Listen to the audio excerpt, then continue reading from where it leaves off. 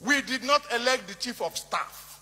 We did not elect the joint chiefs. We did not elect the national security advisor. We elected the government of APC in 2015 and re-elected them in 2019. The reason why we re-elected them was that they continued to tell us that because they had the key to security, and the whole Nigeria voted them in in 2015, and I agree with that. And I'm saying, Mr. President, when you want to deal with a matter, you go to the head. So we will go to the government and ask this government to resign because they can no longer do anything in this country. Mr. President, in conclusion, yes, Nigerians voted a government into power. And that government even said, if we don't perform, stone us. The formula of Buhari in attending to rulership of this country since 2003 has been S plus S equals to P. Secure the land, stabilize the land through infrastructural development, then prosperity will emerge. There's no magic to prosperity. If you look at what has happened since it started in May 2015, and all attempts have been to secure the land. And the budget has just been signed, and that will attend to the phase of stabilizing the land through infrastructural development. Of course, there are four years to do things, and I'm afraid if within this period, then we don't perform, stone us. You did you, did you say did you say Nigerians should stone you? Yes, that's what I said. If we don't perform in four years, stone us. We will secure this land, we will stabilize this land, and Nigerians will celebrate us. We are going with the stones to stone them now because they are no longer. Mr. President, because we have to get to the root of this matter, I can only say one thing. Those who live by propaganda will die by propaganda. Yeah, good evening, everyone. Maazi Ezeoke here. Um, I hope everyone is doing all right. Um, a social political movement, as they are called, uh, in the southeast, and they are known as Igbo Nigerian Movement (INM), has uh, disowned the lawmaker representing Abia South. That is um, the distinguished senator, the only one that deserved to have that title distinguished, Enyinnaya Abaribe. Over that call he made yesterday, you know, that I equally made a video yesterday where he called and he said that Buhari should resign. Now, these guys are saying that Abaribe should apologize. They made their release yesterday in Awka, uh, you know, Anambra State, in which um, they've actually said um, that Senator Abaribe, who is 64 years, must resign. Oh, well, first of all, apologize and then resign. And I laughed my head off. No, I said, Maazi Ezeoke, I stand with Senator Abaribe. Buhari adds no value to us. He can, he should resign. Now, this statement was signed by Ifeanyi Igwe and Paulinus Ozani, and who basically acts as president and uh, secretary respectively you know. And they said in their statement they said it is um, they expressed utter disappointment and disapproval of mr abaribe's utterances. You know we will come to the point where we look at what abaribe was actually requesting according to this group this you know nicompos um, they say it isn't surprising that Mr. Abaribe um, start to already suffer the big blow after he's uh, hobnobbed with terrorist leader Nnamdi Kanu. I say, listen, we are all alive and these guys are saying these silly things. This faceless group that call themselves INM basically said that the lawmaker and some of his allies may in fact be behind the supposed insecurity situation are only trying to create the impression that Mr. President is not delivering on his promises. Now, can we remind the APC, uh, can we remind Buhari what he said seven years ago under Goodluck Jonathan? That Jonathan should resign because Boko Haram was having a field day. Therefore, they said on behalf of Ndigbo that they are disowning Abaribe. And we say no. Zip it. You cannot speak for Ndigbo. We speak for ourselves. Enyinnaya Abaribe has done what an elected opposition has to do. Well, I think what Enyinnaya Abaribe did is having some um, is having some um, um, you know positive uh, jibe because today, um, uh, being the 30th of January, the president had a meeting with the service chiefs. Now, anything less than the service chiefs resigning or he that appointed the service chiefs resigning himself is not acceptable. Therefore, myself, Maazi Ezeoke, I join Enyinnaya Abaribe and I will say I stand by Enyinnaya Abaribe in calling for the president of Federal Republic of Nigeria to resign because he, the president, has failed on the statutory duty of protecting life and property, which is what he's elected to do. He's a, uh, a general. Now, someone who is a general cannot provide security to the people. Remember, when Goodluck Jonathan was in power, these were people calling for Jonathan to resign. So suddenly, why would it be that calling for someone to resign becomes a crime as if it's something never done before? And equally, I find it a little bit insulting to say that because he had a, you know, he shot Nnamdi therefore that he is hobnobbing with a terrorist leader. We are all alive.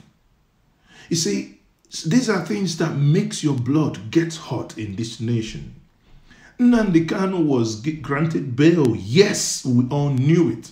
He was in his house. No one is asking question. Why did the military invade his house? Had the military not invaded his house, the Kanu did not appear. One would have now said that he jumped bail. But he came to a man's house to kill him and you want him to stay. Come on. And these guys, basically, that talk this rubbish, want us to believe that they are evil, that they have grey matters in between their skulls. Come on. Come on. Even they went further to say that they challenged Netabaribe to deny that other security breaches like kidnapping and banditry are not connected with the activities of the so-called travelers in, in, in, in you know, uh, quote unquote, the opposition and the IPOB people. Then I, I laugh, I laugh in, in, in Honolulu.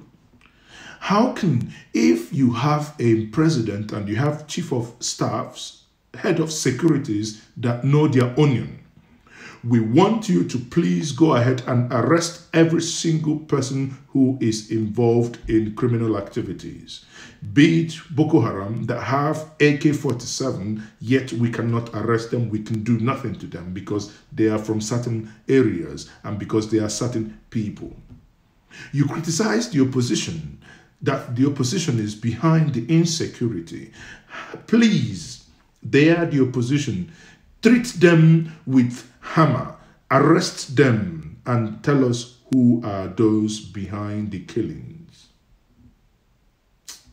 Sometimes we wonder why this nation, like one of my uh, friend would say, appears that our leaders or the leaders in this nation appear to risen from their behind. We have security, men, women, yet insecurity abound. This faceless group are saying that is on record that while waging this war on behalf of his party, meaning on behalf of Enyinnaya Abaribe's party, that Abaribe is a major contributor to the insecurity in the country. You see, uh, sorry, I cannot say this enough. It hurts me and it's, it's pure madness. Why would you call IPOB a terrorist organization? Why? IPOB is no terrorist organization for Christ's sake, for crying out loud. A people that have decided that, please, rather than call them for dialogue, rather what you say is that they are terrorists. Indeed, is it anywhere on record that IPOB has ever killed a single fly, talk of a human being? Yet, we have the terrorists masquerading as Fulani headsmen, rampaging farms, you know, raping women, and doing all manner of sorts. None, none of them can be arrested. We had it from Bala Mohammed. The Bala Mohammed clearly said that every Fulani anywhere from Africa can come to Nigeria and they are welcome because they are brothers and sisters. Can other other people in Nigeria say this? Yet the president will tell us that the crimes and things happening are not done by certain people.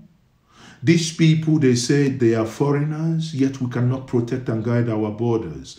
At the same time, the same people will tell you, go and grant, go and live in peace with your brothers. How does that happen?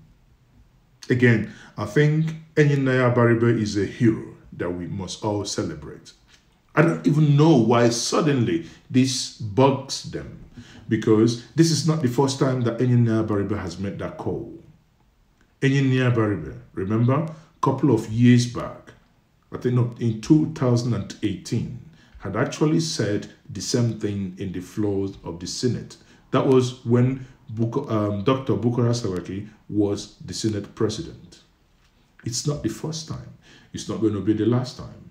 Neither is it going to be something that will stop as long as misfits governors we have security chiefs that are not delivering results, yet the president finds it impossible to even change them. We have young men, women that are in the army, that are in the navy, that are in everywhere who can deliver. Yet the president does not look their side because probably they are not from his backyard. And you call that a nation. That is no nation. That such nation is a nation I do not want to be part of. Enough of this nonsense. Enough of this madness. There is no way we can allow this to continue. Consider that the people are not secured. Senators are beginning to speak up. In this video, I will show you the senator um, representing uh, the senator from Adamawa, that is the sex toy buyer you know, the one that slapped a lady in sex toy, in sex toy shop in Abuja. Suddenly, he began to speak up. So it is no longer about Abaribe. He said it, he can no longer keep quiet. Because why? It appears they are closing up on them. Suddenly, everyone is beginning to speak. You know one thing? Many people think because that you know they can move with um, security men or you know uh, police or whatever that it doesn't concern them. Listen one day one day it will be your turn. It is better that we all speak up now and fix the mess called nigeria or else everyone will be consumed. But many of us are no longer willing actually because you know, saying it as it is, is because we do not, for so long we have called for us to come together and reason as a people and restructure. It appears it falls on deaf ear. Now, the best thing for us now to do is to your tent, O Israel. Once more, this is Maazi Ezeoke. I stand with Abariba ah. Both as the senator of the Federal Republic of Nigeria and as a victim of insecurity in this country. Recall, Your Excellency, my distinguished colleagues, a few months ago, armed men invaded my house in my village. Over 15 of them all bearing AK-47 rifles, abducted my stepmother, abducted my two brothers.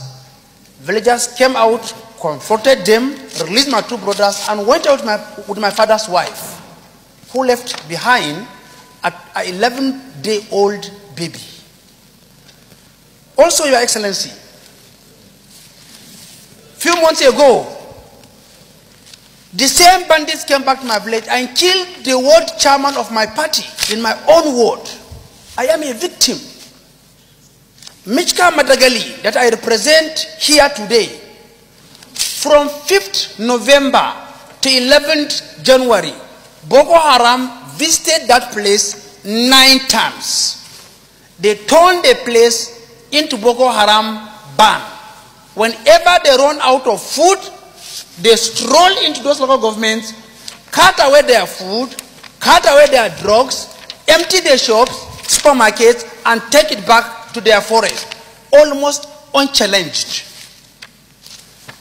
Mr. President, we never had it this bad. Of recent years, we never had it this bad in this country security-wise. Few days ago, you called me to present you at the burial of the Khan chairman of my local government that was abducted by Boko Haram and killed like an animal. They slaughtered him. I represented you in that burial. Mr. President, a lot of us have spoken here today, but let me add my voice. Going by the budget office from 2012 2019, the Nigerian military alone received over 4.5 trillion naira.